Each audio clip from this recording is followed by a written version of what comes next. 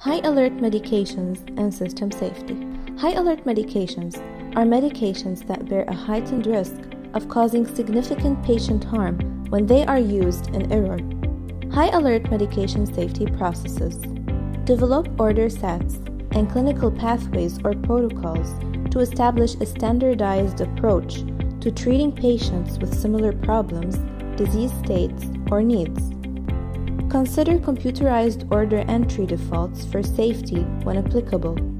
No verbal orders or through phone. Minimize variability by standardizing concentrations and dose strengths to the minimum needed to provide safe care. Include information and reminders about monitoring parameters in the order sets, protocols, flow sheets, and posters. Consider protocols for vulnerable populations such as elderly and pediatrics. Implement independent double checks.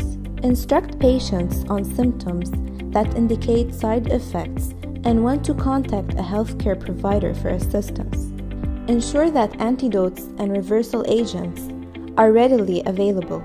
Storage of high alert medication in locked designated medication cabinets mitigate the risk of error in high alert medication administration by removing the unjustified storage of concentrated electrolytes from unneeded hospital units. Pharmaceutical never events. Wrong route of administration of chemotherapy agents. Intravenous administration of undiluted concentrated potassium solutions. Inadvertent injection of epinephrine intended for topical use. Dangerous drug list, high alert medications, electrolytes, sedatives, narcotics, vasopressors, inotropic medications, neuromuscular blocking agents, antiarrhythmics, total parenteral nutrition, other specific medications.